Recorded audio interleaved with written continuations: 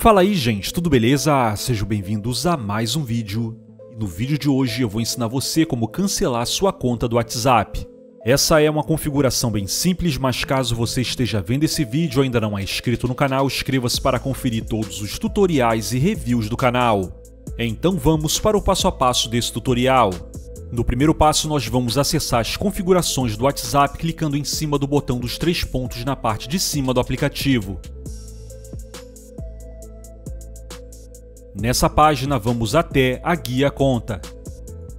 Aqui vamos selecionar a opção Apagar minha conta.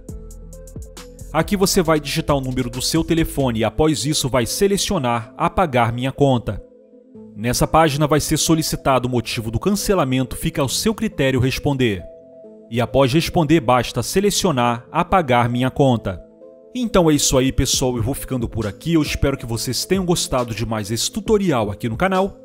E caso você esteja vendo esse vídeo ou ainda não é inscrito no canal, inscreva-se para conferir mais vídeos como esse. Um grande abraço para todos e até o próximo vídeo pessoal!